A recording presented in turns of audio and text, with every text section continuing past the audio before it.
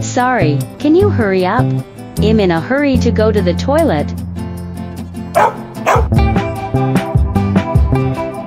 What's wrong?